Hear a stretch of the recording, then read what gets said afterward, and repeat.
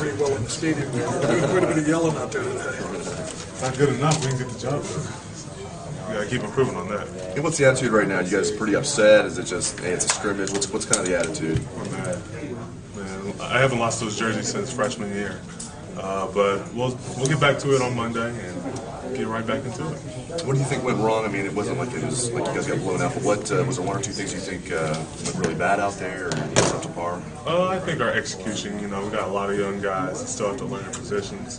And then um, I thought we competed well, uh, but at the end of the day, we didn't get the job done, so we have to keep improving on everything.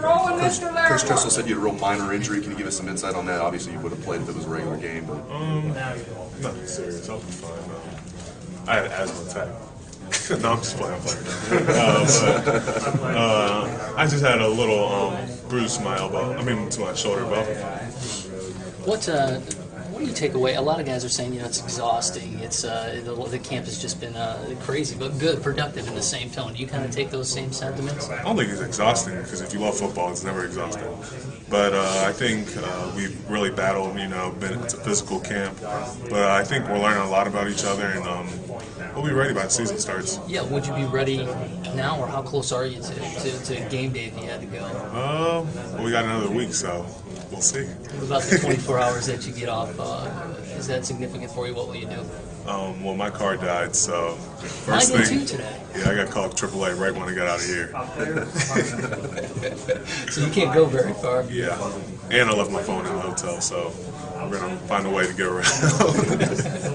what are your thoughts on uh, Andrew Sweat running with the ones at uh, Sam linebacker today?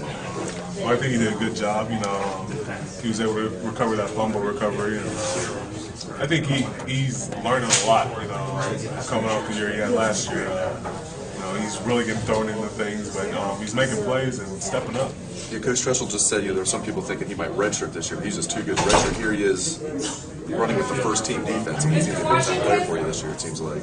Definitely. I mean, uh, I think at Ohio State, you got to come in ready. You know, um, when you have the motto of redshirt, that doesn't get fly, flied around here. And, um, you know, any position's open, so we just have to be ready.